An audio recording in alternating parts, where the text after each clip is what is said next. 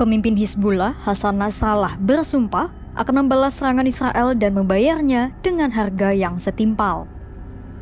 Kecaman itu Nasrallah lontarkan pada Jumat 16 Februari 2024 usai serangan Israel pada Rabu 14 Februari 2024 di Lebanon.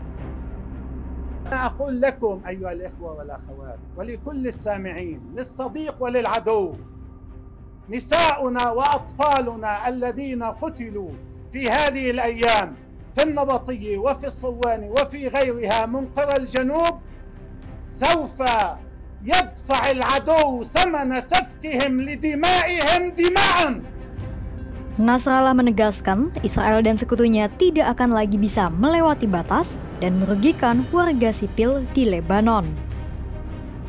وسيرى العدو والصديق أن هذه الدماء سيكون ثمنها دماء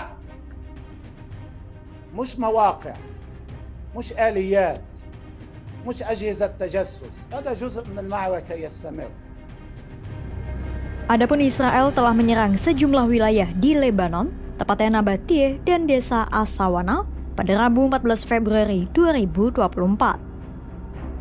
Di Nabatie, serangan Israel merobohkan sebagian bangunan dan menewaskan tujuh anggota keluarga termasuk seorang anak.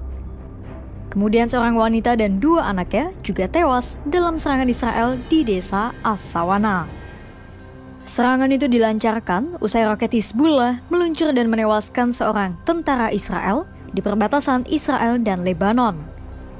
Ketegangan antara tentara Israel dan Hizbullah yang bermarkas di Lebanon itu telah terjadi sejak perang dengan Hamas pecah pada 7 Oktober 2024.